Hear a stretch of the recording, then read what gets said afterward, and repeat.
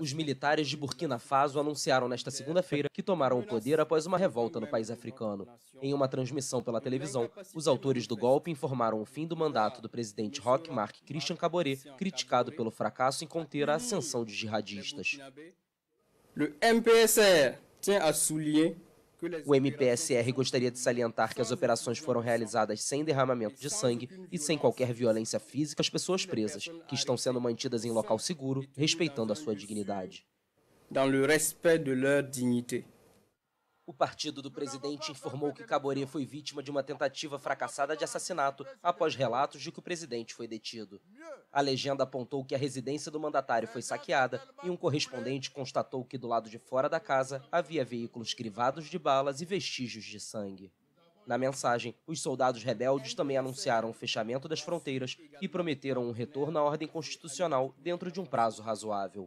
A junta ainda afirmou que o país vai continuar a respeitar compromissos internacionais, particularmente no que diz respeito aos direitos humanos. O secretário-geral da ONU, Antônio Guterres, condenou fortemente o golpe de Estado militar em uma mensagem lida por um porta-voz. O secretário-geral convoca todos os atores a serem moderados e optar pelo diálogo. As Nações Unidas reiteram seu compromisso total com a preservação da ordem constitucional e reafirmam seu apoio ao povo de Burkina Faso em seus esforços para encontrar soluções para os desafios multifacetados enfrentados pelo país.